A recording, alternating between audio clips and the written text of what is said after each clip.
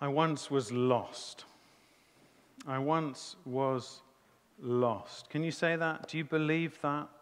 Do you know what? That is every true Christian's testimony. That's our story. We believe that we were lost. Do you believe that until you repent of your sin and until you come to Christ, putting your trust only in what He did on the cross for sinners, that you're lost? That you will face a lost eternity, even? Do you believe that unless people hear this good news about forgiveness and about repentance through Christ's death, do you believe that unless they hear that, they are lost? Do you believe that unless someone actually comes in response to that message and believingly repents and is born again, they are lost. That's actually what the Bible teaches, isn't it? Do you believe now that then that you are found as a Christian? Do you, do you know that you've, you've had your sins forgiven, paid for by the death of Christ upon that cross? Do you know now that you have actually been born again? that you, you've been made new in Christ, and that you've come into the possession of eternal life.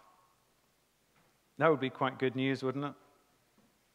Do you know then, if that's true of you, that you're just a step away from heaven? David said, There is a, but a, a step between me and death. But death for a Christian is straight into heaven. Actually, it's believing these, you would say, basic truths of the Bible that motivates Christians to work for God, doesn't it?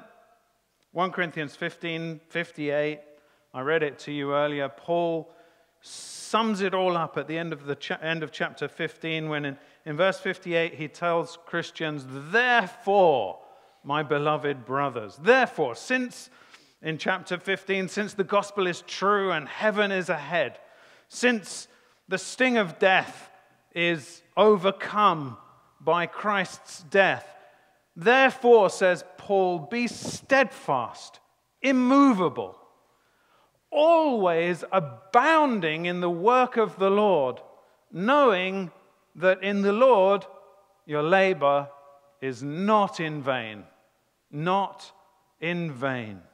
Because you know it's not in vain. All this labor, all this toil to the point of exhaustion. Because you know it's not in vain, you should be, says Paul, always abounding in the work of the Lord. Well, I guess the question for every Christian in the room is Are you? Are you always abounding in the work of the Lord? Are you doing the work of God? Do you actually know what God has for you to do? Can you get up in the morning tomorrow and say, Into the day, I'm going to I'm going to labor for God today? Do you know what that would look like? Do you know what you would be engaged in to be working for God? You're supposed to be.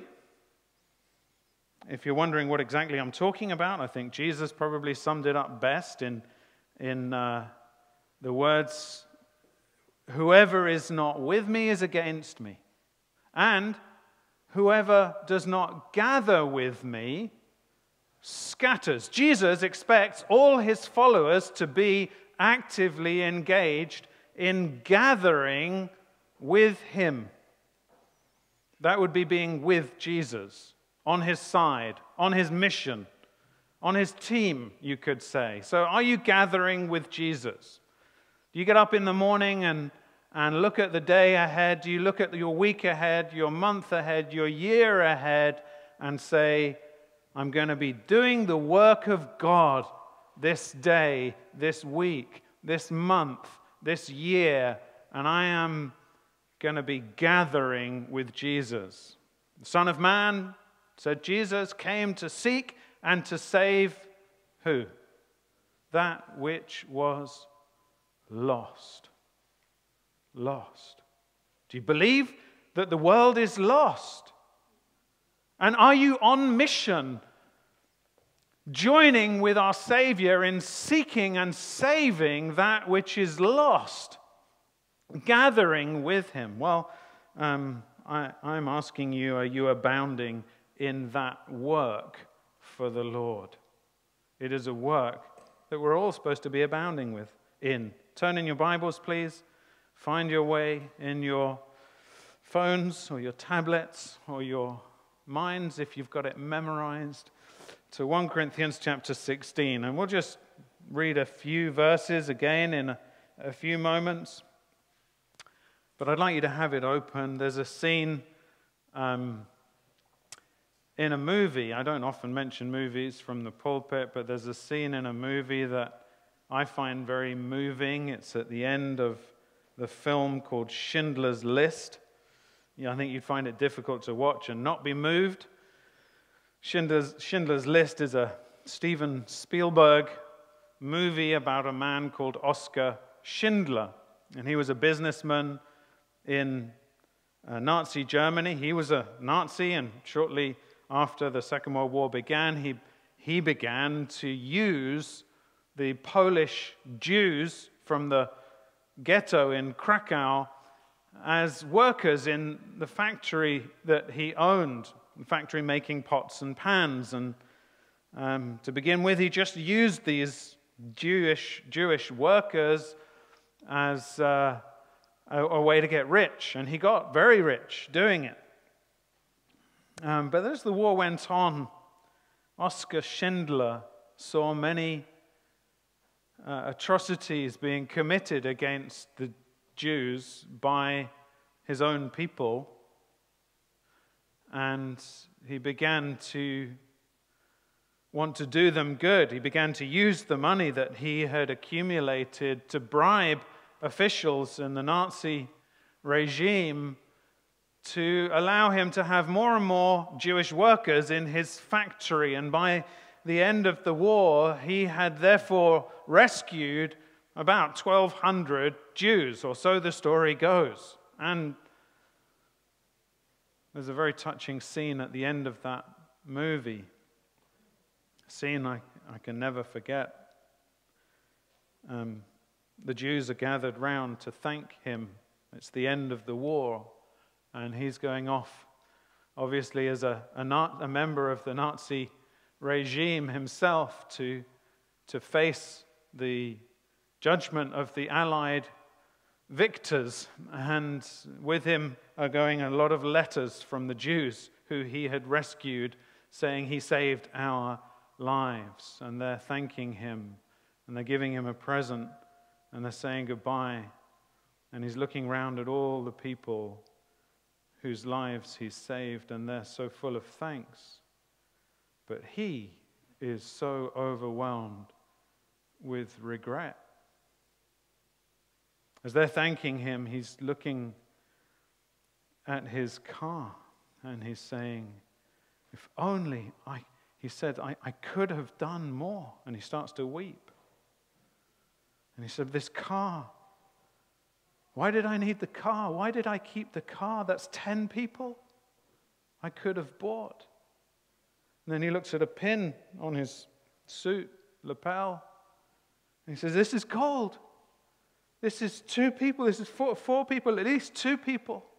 It's gold. Why did I keep the pin? I could have done more, said Oskar Schindler. Well, do you want to do the work of God? Do you want to? Is that your heart? I know it is for so many of you. When you look back at the last year of your life, do you look at the opportunities you had to do the work of God and, like Oskar Schindler, bow your head in grief and think, I could have done more. I should have done more. Oh, that I, I had done more.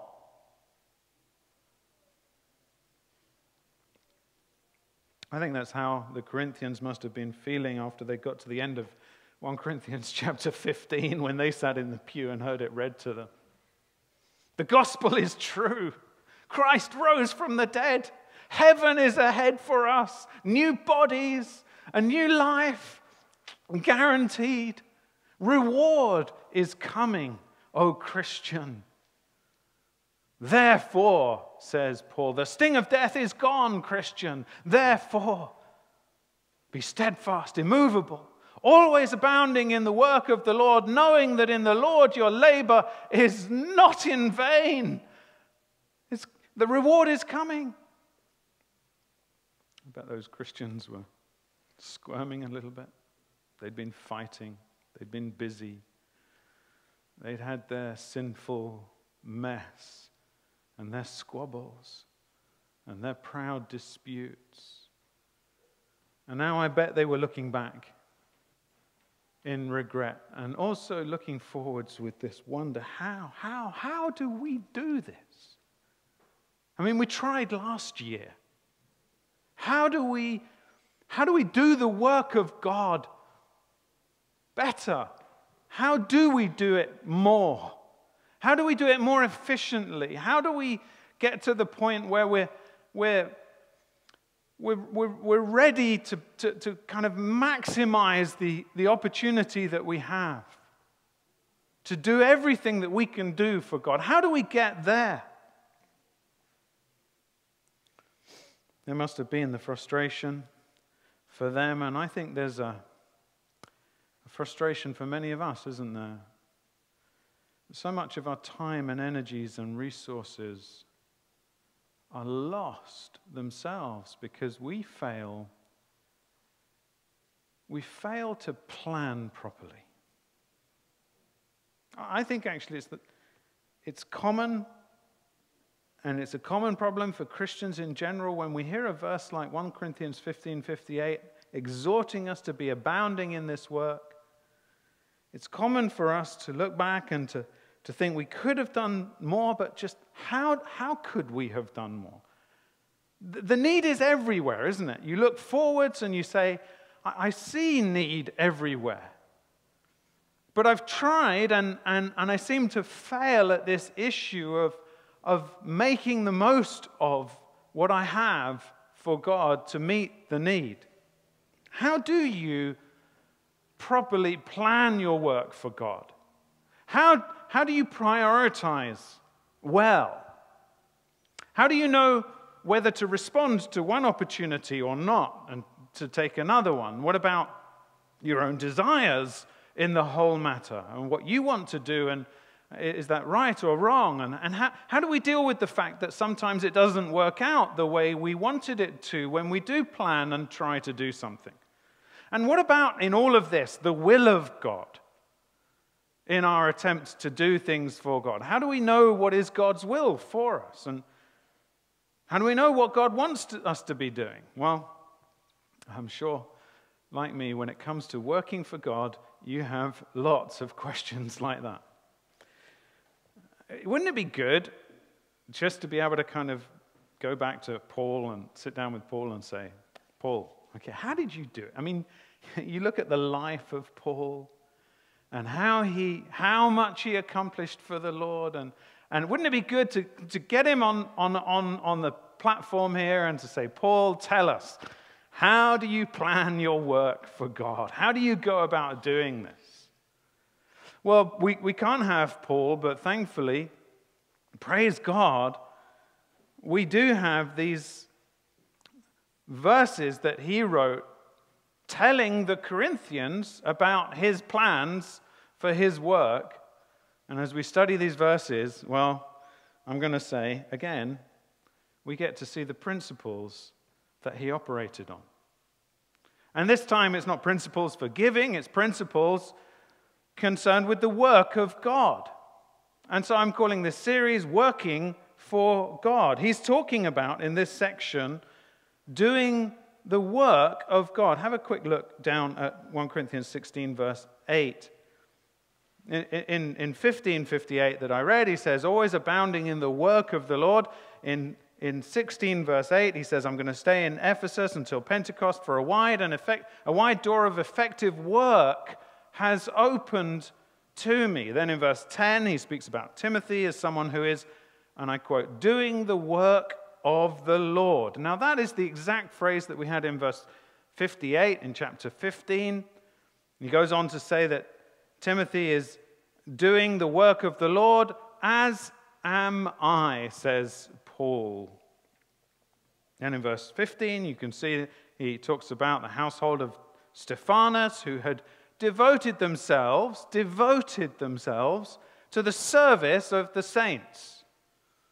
And you would say that was the work of the Lord as well, wouldn't you?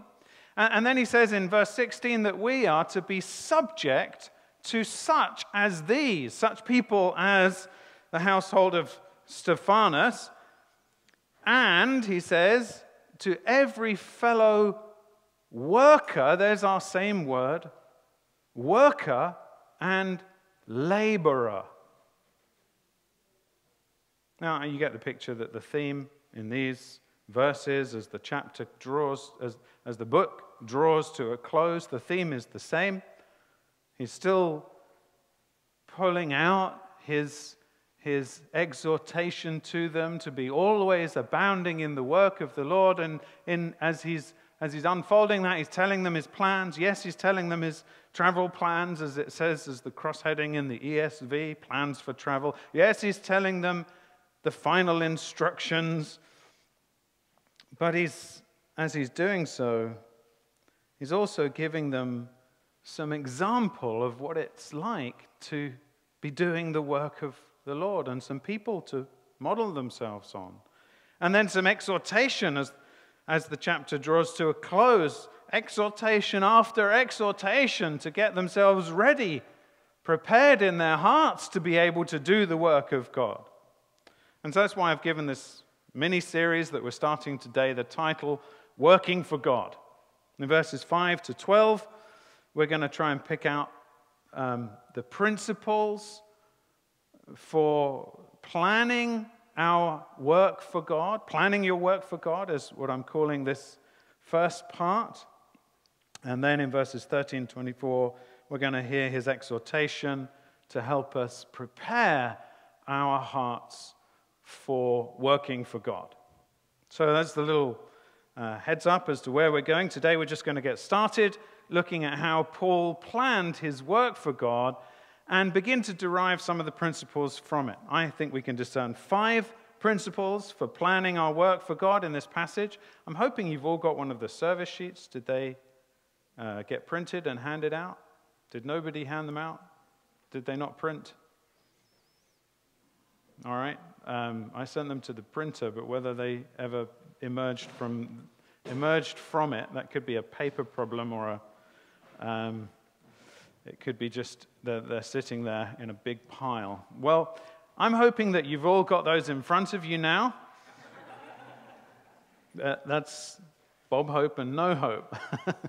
So, uh, without that in front of you, we'll carry on. I, I think we can discern five, five principles in verses 5 to 12 for planning uh, our work for God. You want to plan your work for God in the year ahead?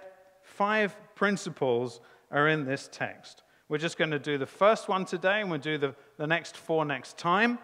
But let's read the text 1 Corinthians 16, verses 5 to 12.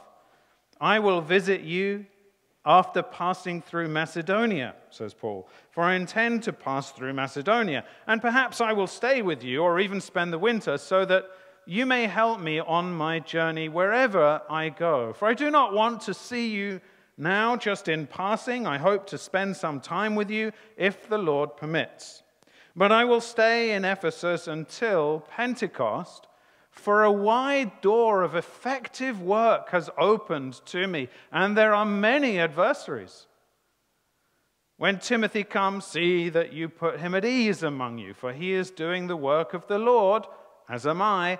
So let no one despise him. Help him on his way in peace, that he may return to me, for I am expecting him with the brothers. Now, concerning our brother Apollos, I strongly urged him to visit you with the other brothers, but it was not at all his will to come now. He will come when he has opportunity. Well, today I want to point out to you something really basic by way of drawing out the first principle of planning from this text. And the first principle of planning we can see Paul operating on in this text is that Paul planned his strategy, he planned his work for God according to strategy. Number one, the first principle, if you're taking notes, he planned, we should plan our work for God according to strategy. And we'll draw out four others next week. But strategy, you say, where's the strategy? Well, it's here actually. He was, he was aiming at the maximum impact for his work for God and that aim impacted his plans. He was going to stay in Ephesus, he says, until Pentecost. And then, if you trace backwards, he was going to pass through Macedonia, pass through it, not stay there for any substantial length of time, but pass through it because he wanted to come to Corinth and spend some time with them. He didn't want to see them just in passing, he says in, in verse 7. I do not want to see you now just in passing. I hope to spend some time with you if the Lord permits. And, and all of that is worked out according to, you would say, Paul's basic strategy.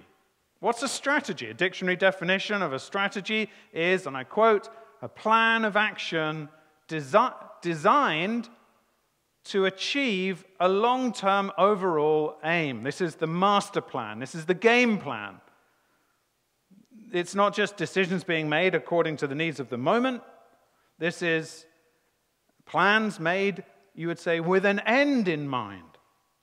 And, and my point is that it's clear that Paul was making his plans in this uh, section according to an overall strategy, an overall plan. He had made an assessment of the needs and importance of each area on his missionary agenda. Paul had on his missionary agenda, let's just take the, the few that are mentioned here. He had Ephesus, he had the churches in Macedonia, and he had Corinth. There were others, but let's just take those three. He had made an assessment of the needs in each place and he'd said, I have to stay here in, in, in Ephesus.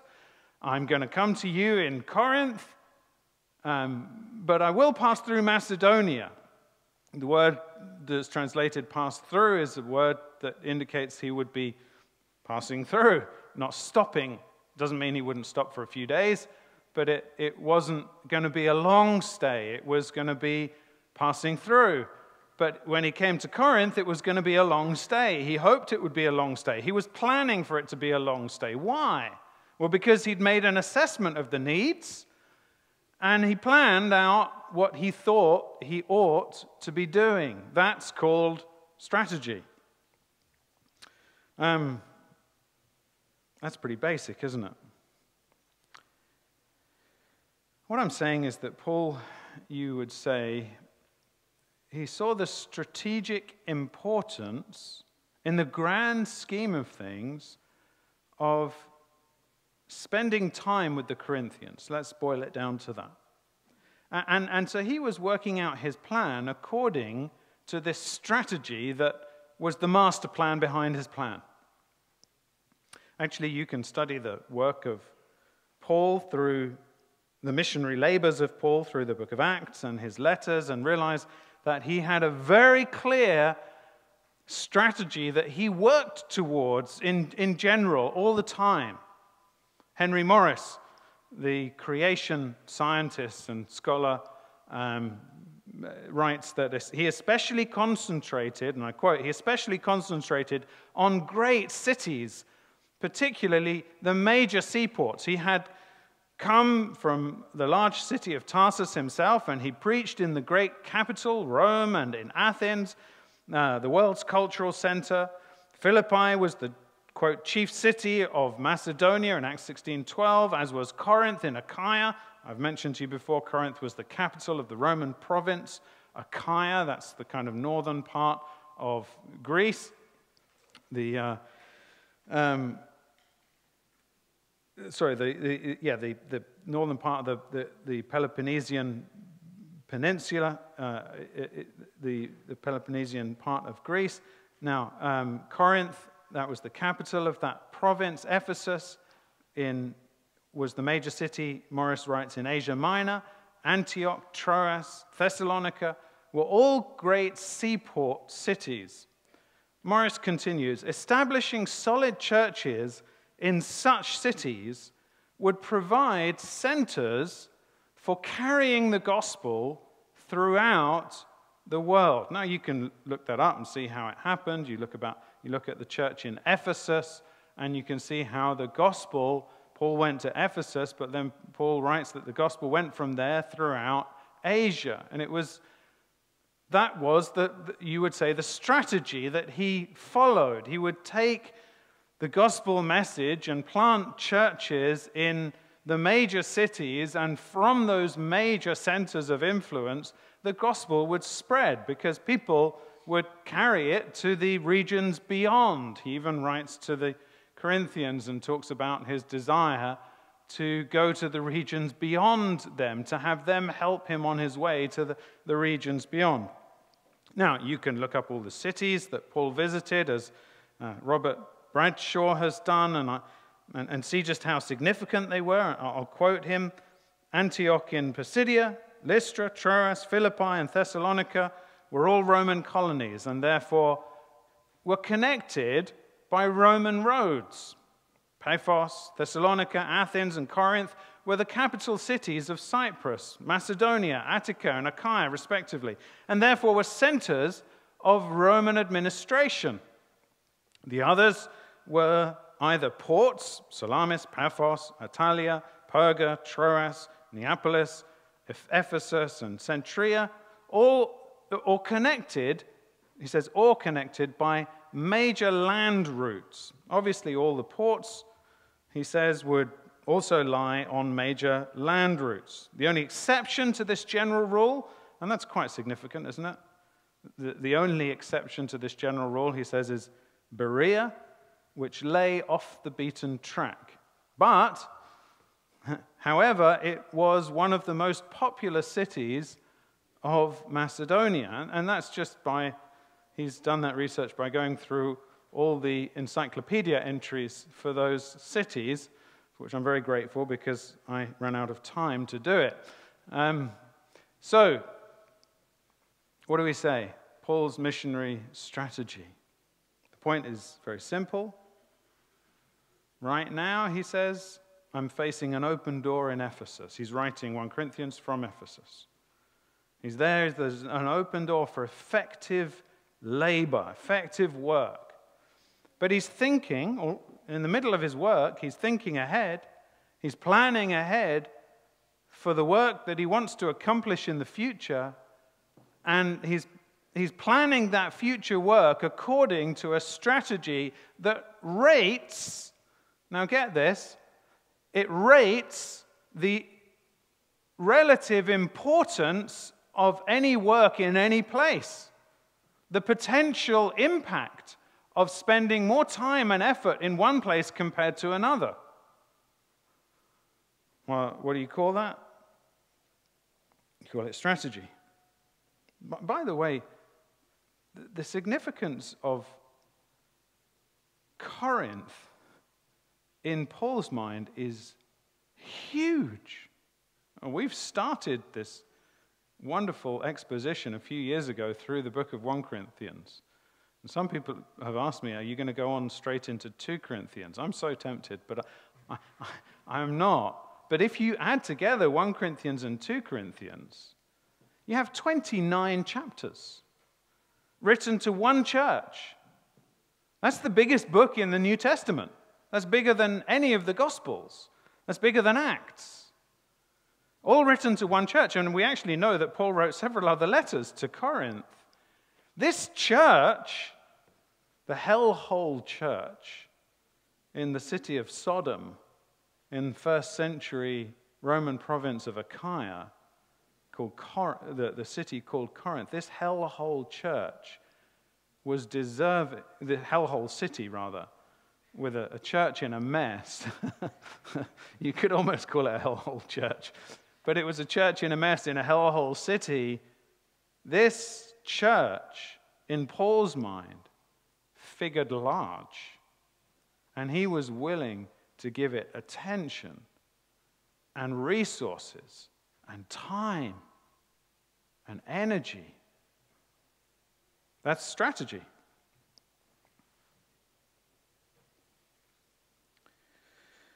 So, what do we make of a strategy like this? Well, very briefly, I want to point out three lessons that we should learn from Paul's strategy so that we can learn to strategize in our own work for God. And also, happily, to join in the strategies of others. So, three lessons about strategy. Number one, strategy is not sinful. It's not wrong to have a master plan. It's not, it's not sinful to strategize. That's obvious from the fact that Paul did so, but also you'd say um, it's obvious from the fact that Jesus did that. Do you remember Jesus? There was a time in his ministry when he went from town to town.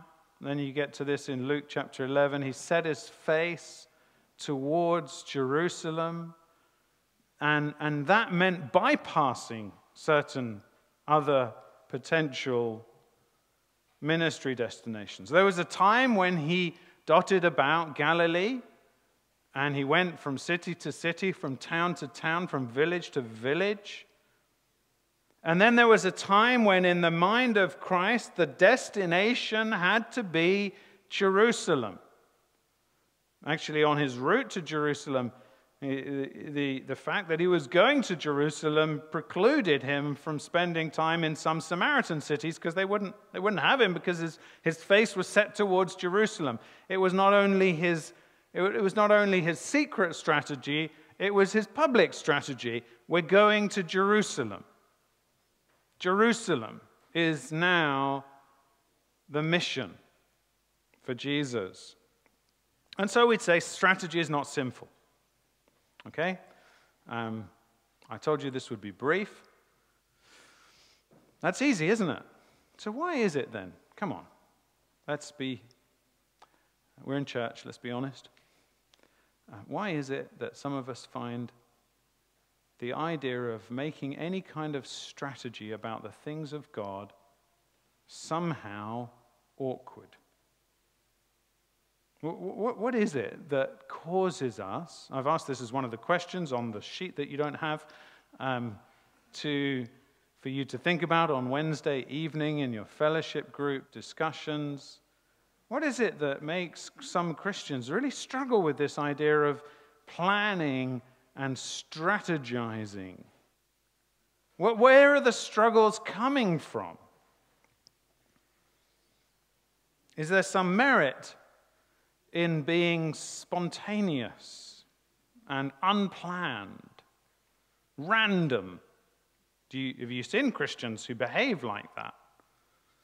They're, they're off in this direction, and then some prompting, they're going in this direction, and, and they feel like they're like Philip, the, you know, the Ethiopian um, eunuch Philip, who was, you know, kind of carried away by the Spirit, and then the Spirit took him here, and the Spirit took him there, and the Spirit took him everywhere. And, and you, you get people who, who almost believe that that ought to be their life, that should be the normal life of a missionary. Well, they'd be very disappointed with the Apostle Paul, because the Apostle Paul's sitting down with a map and saying, You know, I'm planning on going here, and I'm planning on going here, and then I'm going to bypass, I'm just going to stop over here and here. I'm going to bypass these places, but I'm heading here, and I'm going to spend time here Why? Because that's valuable, because I've considered it, because I've evaluated it. But some people just want to just drift and respond to whatever impulses they have and feel like somehow that's more spiritual. Well, is it? I'm going to say unplanned is not more spiritual. Strategy is not unspiritual. Strategy is not sinful. So, uh, I think we dealt with that, have we? Number one, strategy is not simple. Number two, I told you they'd be brief. Strategy is wisdom applied to the work of God. Strategy is wisdom applied to the work of God. Who says that we should not do the work of God according to wisdom? You watch them, they will struggle more than usual. If the axe is dull and he does not sharpen its edge, then he must exert more strength. Wisdom has the advantage of giving success. So said Solomon in Ecclesiastes chapter 10, verse 10. You can remember that? Ecclesiastes 10 10. The sharp axe. You don't sharpen your axe. If the iron is not sharp, as the ESV puts it, you have to exert more strength. Why would you take a blunt axe and spend 10 days trying to chop down the tree with all the blisters and all the sore, aching joints involved in that shaking as your blunt axe bounces again and again off the tree when you could spend a quarter of a day sharpening it, sharpening it and chop it down in half a day. Why would you do that? It wisdom, says Solomon, has the advantage of giving success. And I'm saying that just that, that, that planning, strategizing is just wisdom. Apply, strategizing is wisdom applied to planning. You're taking a master plan and you're applying it to your short term plan. How many of you have a master plan? Let's, I'm not asking you to put your hand up. But let's just look forwards for a moment. What are you going to be doing this week? You've seen, perhaps as I've seen, those um, very expensive things being advertised on Facebook. You know, you can buy a sheet of paper with a plan on it for like 20 pounds. Uh, it's got a pre drawn plan, you know, what it's going to get you to do is write down on, on Monday, it's going to get you to, to write down a list of things that you want to accomplish this week. And then, you know what it gets you to do next? It's going to get you to go through and evaluate them in terms of the, the, the importance of each of those items. It's going to say, you know, give it a one if it's not very important, give it a 10 if it's very important. And you go through and you put a, a number by that. And then you, then you go through, and next column is you go through and you, you're going to put, choose which day you're going to do it. And so at the beginning of your week, you're going to say what I want to achieve this week, and then you're going to have a look at your week and you're going to say, when am I going to achieve it? And how important are these things? And which order am I going to do them in? And maybe I'll have to leave some of them, and maybe I'll have to focus on others. And, and should we ask for a show of hands about how many of you ever do that? How many of you ever look ahead and prioritize and plan and, and evaluate the significance of what you've got to do in one week? What about one month? What about this year? We, we have arrived at the end of January. Do you know what you wish to accomplish this year for God? All right, forget work for a moment. But what about God? What is your work for God? Oh, we go back, we're going to, go back to the beginning. It's, it's whoever does not gather with me scatters, right? Are you going to be gathering or scattering for Jesus this year? One of the two. You're either gathering or you're scattering, but gathering takes organization, doesn't it? You've got to know where you're going to go, who you're going to speak to, when you're going to speak to them, what you're going to give up in order to speak to them. Uh, it's called planning. Are you planning your evangelism? Some people would, would think that we were going all pragmatic if I said to you, Why don't you go home and write down a list of all the unbelievers that you know and, and, and decide when you're going to speak to them and how you're going to try to communicate the gospel to them and make a plan and, and pray over it. And that would be kind of, that would be what the pragmatic churches do.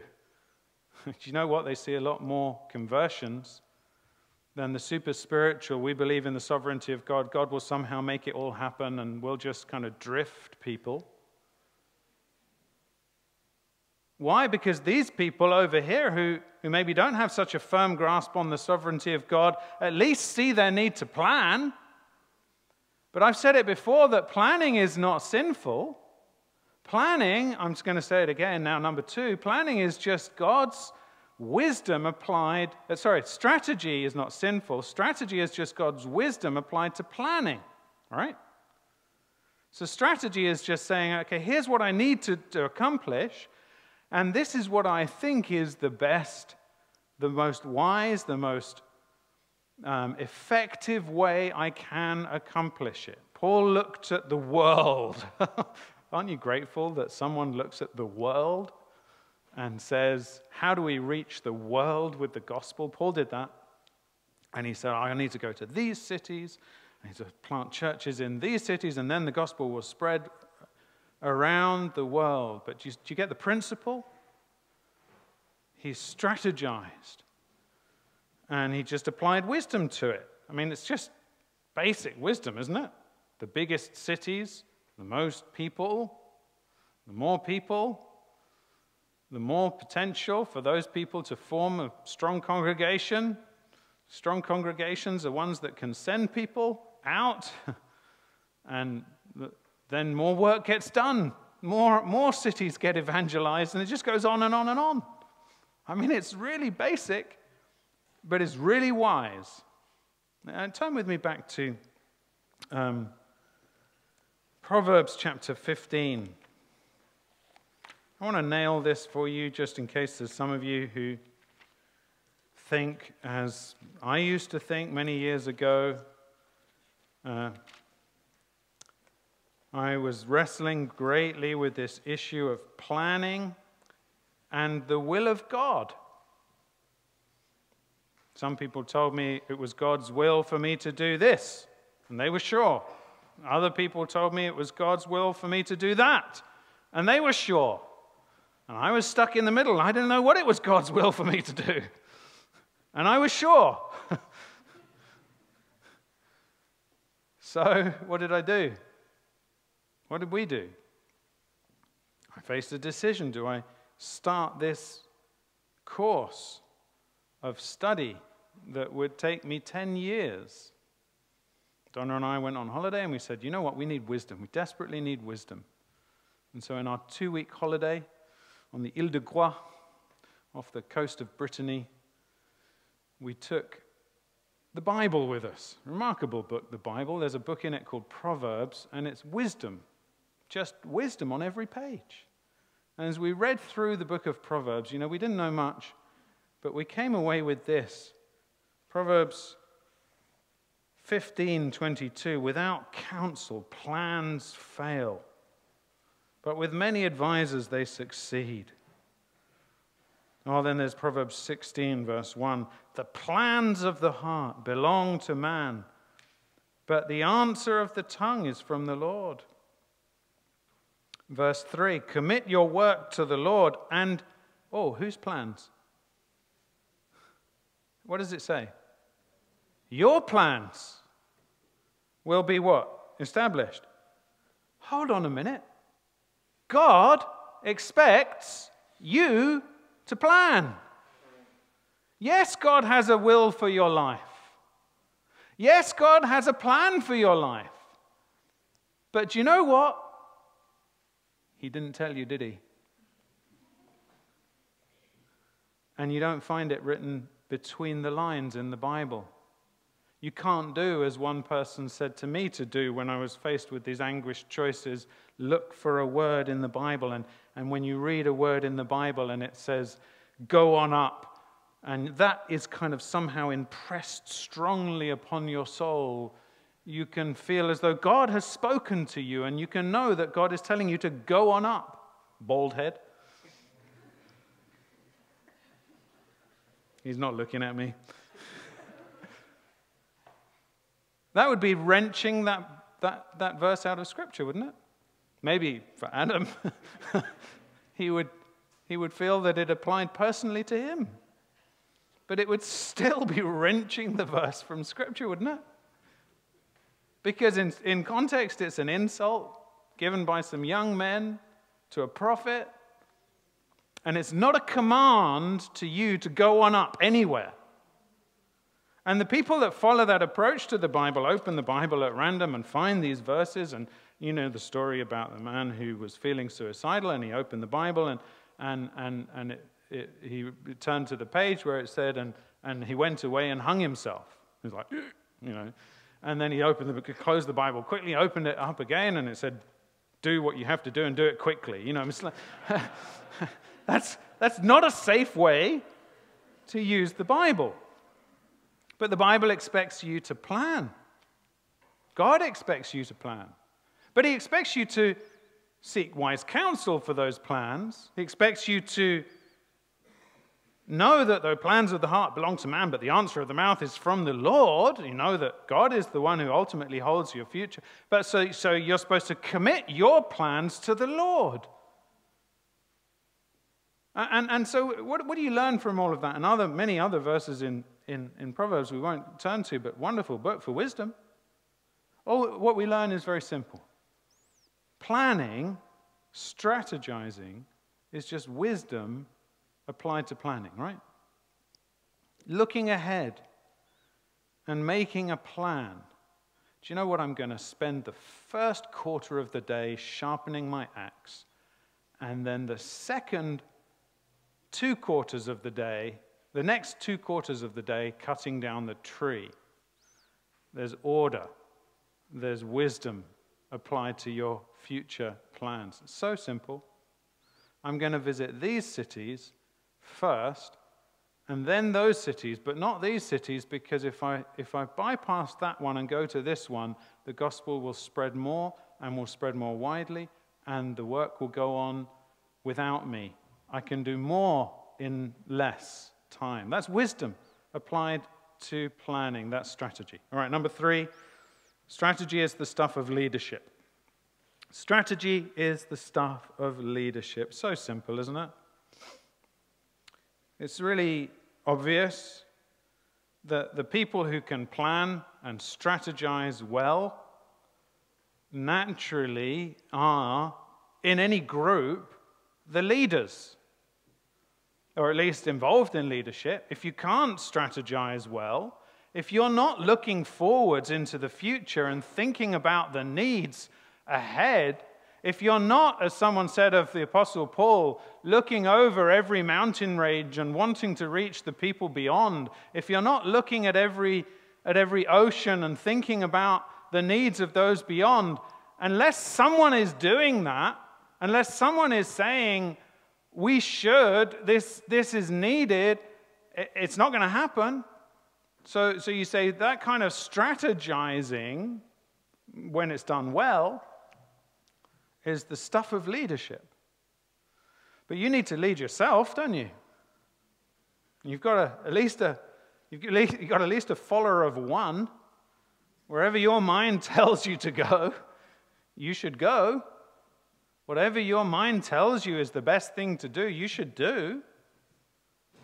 You can't have someone else telling you what to do with every moment of every day, so you have to look at your day and decide, what am I going to do today?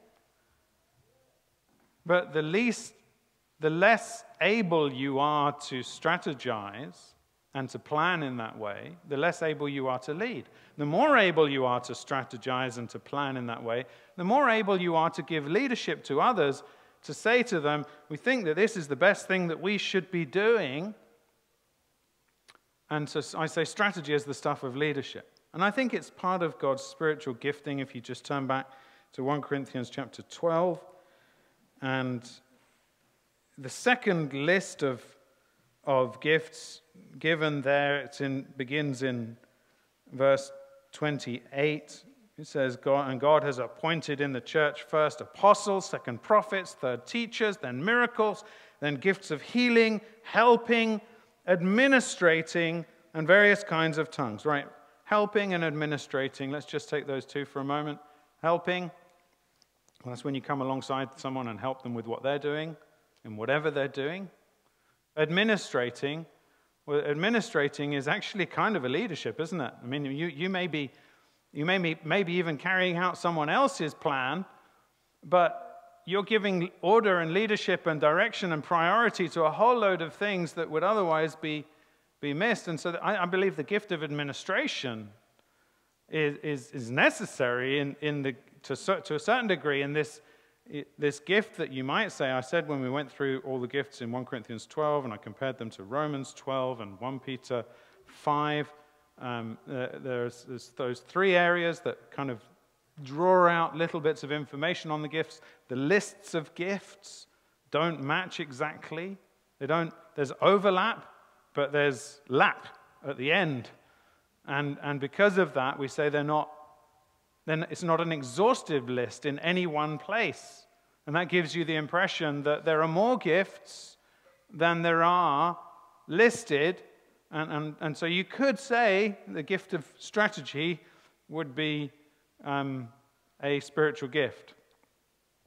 I, am just putting that forward. I think you could say the gift of encouragement might be a spiritual gift similarly, but it's not listed in Scripture as a, as a particular spiritual gift.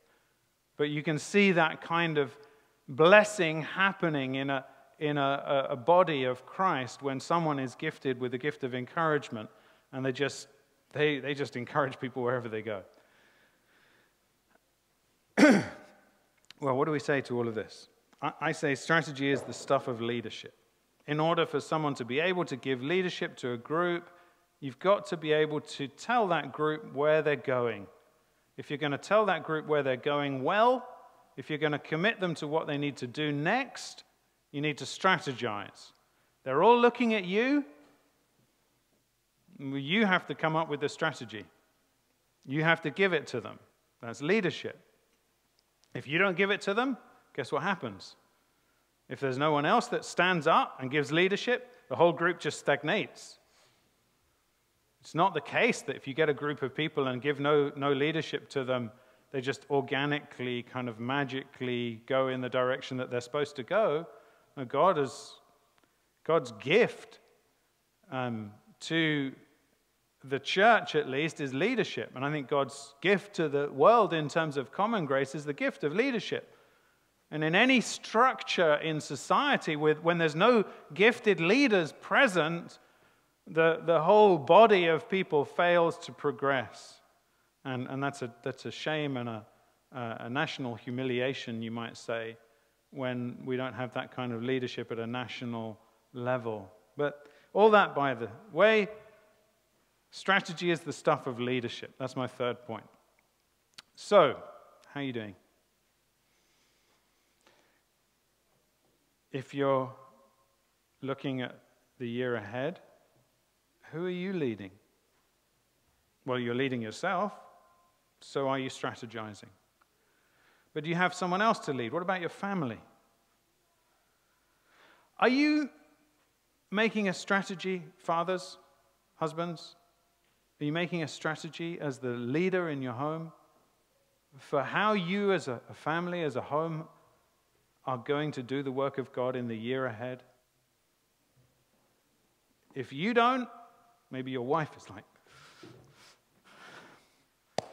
please, someone just tell me what to do. I just want to work for the Lord. But you know what? You get up on a Saturday morning and you're like, ah, what are we going to do today? And your wife's like, another weekend lost for the work of the Lord. Another evening lost. Another week lost. Another month lost. another year lost. And at the end of your life, are you going to be like Oskar Schindler? Looking at all the people who are lost and saying, I could have done more. Ministry team leaders at GraceLife London. We met yesterday. We had such a wonderful time.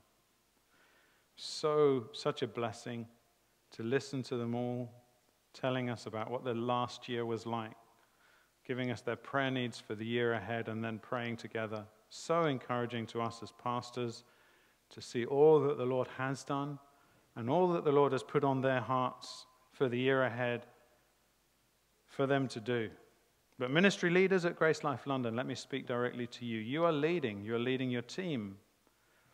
Are you going to strategize to do the work of God in the year ahead with your team and give that leadership that's needed? It's not sinful, it's just wisdom applied to planning, and it is the stuff of leadership. Well, may the Lord help you, whether you're leading in a ministry team at church, whether you're leading at work, whether you're leading in the home, whether you're leading just your own life. Wherever you are leading, may you lead with the wisdom applied to your planning that is strategy. Let's pray. Father in heaven, we pray and um, ask you, living God, to help us individually, corporately. Help us, please, to do the work of God, to labor to see lost souls saved, to labor to see more saved, to labor to see your saints built up, to serve the saints Help us, Lord, to strategize in this work, to plan it well, to organize it so that we can do more, to do it better, to do it so that there's a greater impact. And we ask you that that would be the case for your glory, for the sake of your holy name. Amen.